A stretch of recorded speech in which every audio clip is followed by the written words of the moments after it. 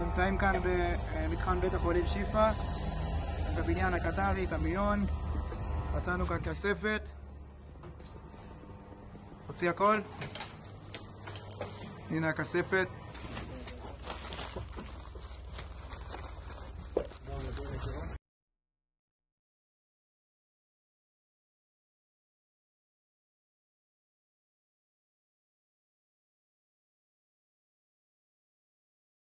שימו לב, אנחנו נמצאים פה במשרדו של מנהל בית החולים שיפא, בואו תראו מה מצאנו.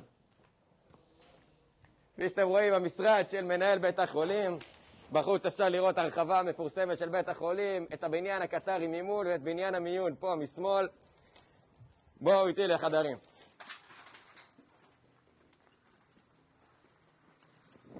בסמוך למשרד המנהל, שני חדרים שנועדו לשהייה של מחבלי חמאס. בהם נמצאו גם רימונים, גם מרגמות, כדורים והרבה כספי טרור.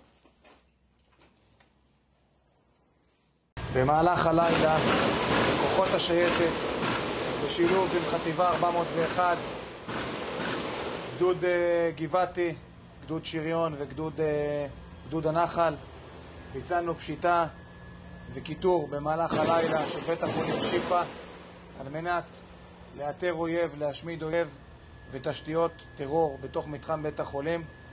אנחנו פועלים בכיתור מלא של בית החולים על ידי חטיבה 401.